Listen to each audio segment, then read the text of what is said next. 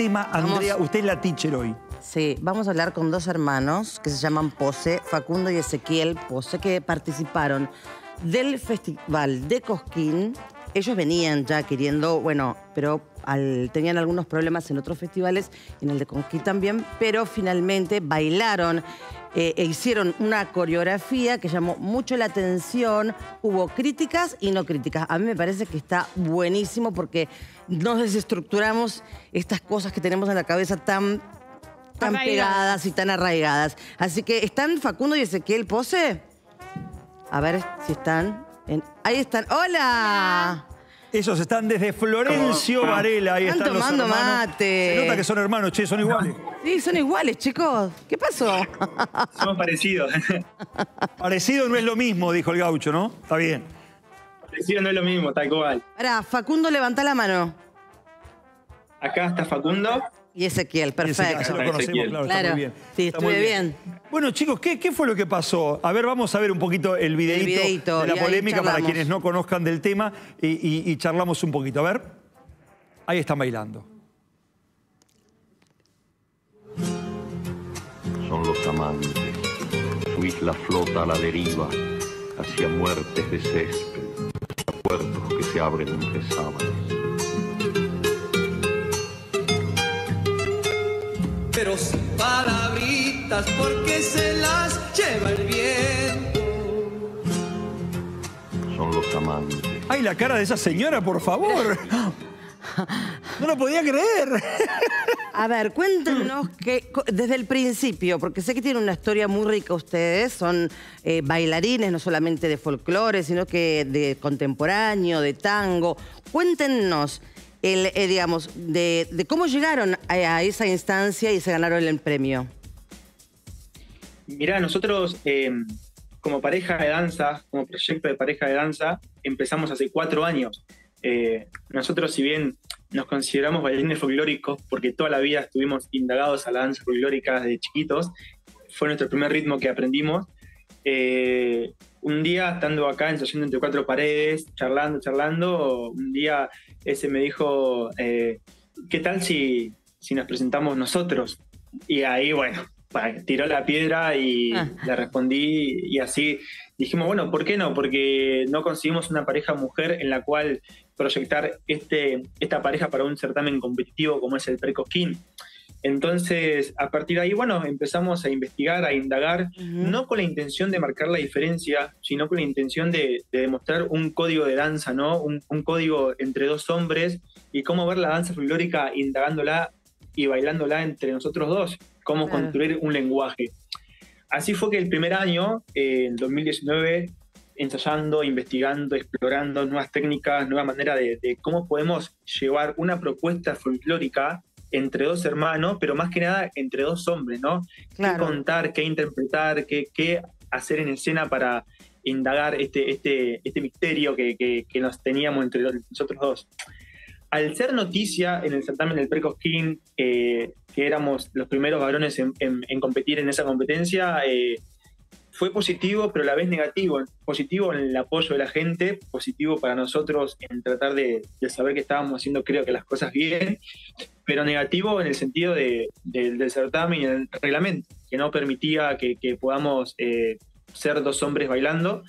Entonces, eso nos trajo, nos perjudicó hemos sufrido bajas de escenario, porque primero hay que pasar por acá, por Buenos Aires o a una sede de provincia para clasificar al escenario mayor, ¿no? Claro. Entonces, eh, nos han bajado el escenario, eh, hemos llegado a, otras sedes para probar y nos han dicho, no chicos, no pueden eh, subir por el reglamento, por tal y tal cosa. Entonces, luego de batallar y de batallar y insistir e insistir, pudimos lograr esa aprobación y subirnos por primera vez al escenario como, como hermanos, como dos varones y como bailarines y artistas por sobre todo. Este año. ¿Y cómo, cambió el reglamento? Eso te iba a, preguntar. ¿Cambió el reglamento? ¿Cómo, Claro, el reglamento cambió en el 2020, cambió el reglamento, que fue cuando nosotros pudimos eh, llegar al certamen del Precosquín en el escenario mayor y estuvimos, en 2021 no se hizo por pandemia, 2022 eh, llegamos a la final eh, y pudimos lograr eh, la consagración que fue en el 2023, este año. Hace una semana. Hace una semana. Claro, claro. ¿Y qué pasó cuando ahí, ahí, no digo la, gente, porque veíamos algunas, pero bueno, también habrán tenido muchísimos aplausos porque realmente se consagraron y lo que estamos viendo realmente es de una pluralidad hermosa. Sí, eh, el video que se está viendo es del Festival Mayor, porque bueno, al ser consagrados, la comisión nos da un lugar para presentarnos en, la grilla de, artistas del Festival Mayor de Cosquín. Entonces ese público, digamos, es como primerizo, ¿no? Digamos, ah. porque bueno, el público de Pre-Cosquín no es el mismo que el del festival. En un Pre-Cosquín hay un público más entrenado, ¿no? Hay gente que se vincula con la danza, tenemos colegas, tenemos familiares, compañeros, ¿no? Y en este festival, bueno, uno se encuentra con otro público que quizás, eh, no sé, es fanático de los Manceros, el fanático de Abel Pintos, ¿no? Como que eh, no está vinculado tanto con la danza, entonces que no, quizás... Que no es malo. Que no, no, no, es malo, no digo que sea malo. Eh, digo, pero por ahí, bueno, al ver dos varones bailar juntos folclore, ¿no? Entonces para ellos es novedad para el, público de la danza ya no es novedad. Fue novedad en su momento cuando nosotros eh, rompimos con esto y nos presentamos por primera vez en el certamen. Sí, fue novedad, que también, bueno, sufrimos con varias trabas, varias críticas, buenas y malas. Y bueno, ahora es esto, ¿no? somos la novedad para este público que, como bien digo, eh, es nuevo, ¿no? Para, para esto. Pero bueno, nada, nosotros fuimos los primeros y sabíamos a los que nos enfrentábamos. Ya nos imaginábamos un poco esto, pero para bien, para bien, porque atrás de nosotros vienen muchas más parejas también que son de dos mujeres, dos varones, que gracias a la modificación del reglamento pudieron presentarse y vienen atrás nuestro. Así que ojalá que sigan consagrándose parejas del mismo sexo, distintos sexos, o sea, sin distinción de género. La, idea es que el arte pueda ser para cualquier tipo de género. Eh, y lo mismo el folclore, ¿no? Que más que nada que es, bueno, algo más conservador. Entonces la idea es poder romper con eso y nada, abrirlo y la idea, estamos dando un gran paso para todos los que vienen atrás también. Así que nada, recontra contento. Eh, cuando bailaban el tango en, hace muchos años, bailaban entre varones. Eh, cuando comienza el tango es entre varones. Claro, exactamente. Y lo que ustedes están haciendo en el escenario es divino, es, mm, una preciosura. Bueno, sí, antes gracias. Nosotros sabemos lo del tango y también hay documentos en el transcurso de, de ser pareja nos han llegado documentos e investigaciones también de documentos folclóricos de varones bailando antes o practicando la danza entre ellos. Entonces, más allá de que no los haya, ¿no? Más allá de que la documentación no los haya o que la historia no lo amerite, pero la verdad que también...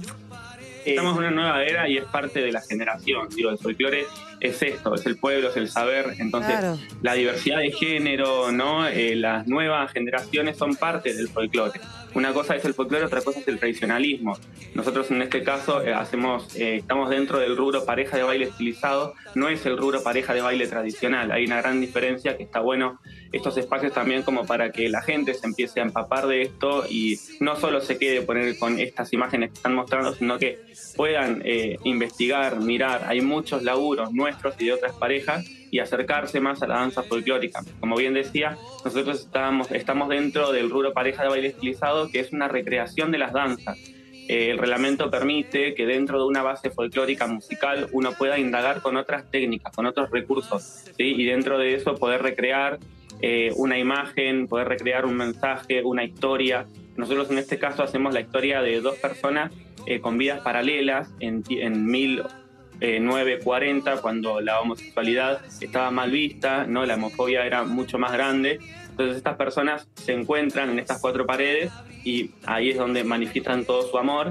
Eh, y esto es una inspiración que hacemos en el poema de Cortázar, Los Amantes. La obra se llama Los Amantes y la hacemos con una cueca de Hernán Figueroa Reyes que se llama Sin Palabrita. Ah. Es toda una propuesta eh, linda, no porque sea nuestra, pero nada, invitamos a que miren, que entren y vean toda la propuesta entera y que se dejen conmover y llevar y que empiecen a creer también, porque eh, también algo, un código que es muy básico dentro de un escenario, que lo sabe hasta mi, mi sobrina, lo que sucede arriba de un escenario es ficticio, entonces está bueno que el espectador también como que cumpla un poco tal cual. Pero bueno, muchas veces se confunde, ¿no? Y como que eh, uno no ve a dos artistas, dos artistas perdón, en el escenario, sino que ve a dos hermanos, ¿no? Dice, ay, dos hermanos bailando juntos, ay, que se besan, ay.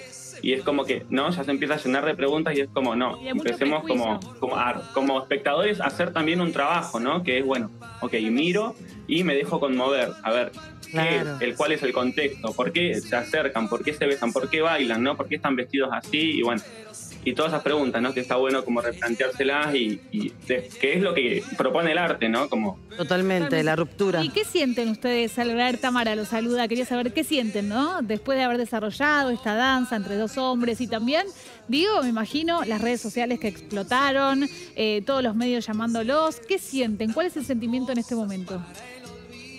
Mirá, eh, Tamara, nosotros abrazamos todo tipo de, de comentarios, esta polémica, estos espacios, los abrazamos también porque está, está genial también que el no, también, ¿no? Está Ah. genial el no y a veces el no también nos ayuda a autocriticarnos y a autoevaluarnos nuestro tipo de arte y nuestro tipo de ver las cosas también, porque antes de llegar a consagrarnos nos hemos replanteado muchas veces a través de- del no de ciertas personas o ciertas opiniones, hasta hoy en día, ¿no? Porque en fin y al cabo, eh, si no, estamos en una zona de confort y seríamos siempre infieles a, a querer siempre tratar de convencer a todo el mundo, ¿no? Y haciendo arte al arte eh, tratábamos de, de que alimentarnos. Después de esta polémica, nosotros estamos, estamos muy bien, estamos bien en el Ah, sentido sí, de muy que- feliz, muy ¿no? felices. Más allá de todo, somos eh, consagrados, somos ganadores del Precosquín, que venimos Claro. hace cuatro años, y hay parejas que vienen hace 10, 12 años insistiendo, y nosotros, nada, eh, cuando se nos dio, fue un doble mérito, no solo el hecho de haber sido consagrados entre más de 90 parejas del todo el país, sino que eh, también logramos como romper y modificar con un reglamento, ¿no? Hay muchos artistas eh, y otras parejas que nos agradecen eh, porque somos como fue- una fuente de inspiración, digamos, y, Claro, y abren dimos el como el pase. para, para Claro. muchas parejas, como vienen. Claro, entonces fue como un doble mérito. ¿Cómo? Perdón. No, eso, eso que estabas diciendo vos, estabas afirmando, ¿no? Que, que son precursores y, y- y le abren el camino a, muchísima gente también que viene luchando por tener este mismo derecho y poder pisar un escenario como, como lo han hecho ustedes. Sí, Dani, tal cual. Es más, mirá, eh, ya que eh, hablamos de esto, en la olla hay mucho que rascar porque en el rubro también hay un rubro en Cosquín que, que es solista de malambo masculino que no permite que las mujeres que, están zapateando, que se están esforzando, que sueñan con pisar el escenario de Cosquín, que eh, no puedan hacerlo.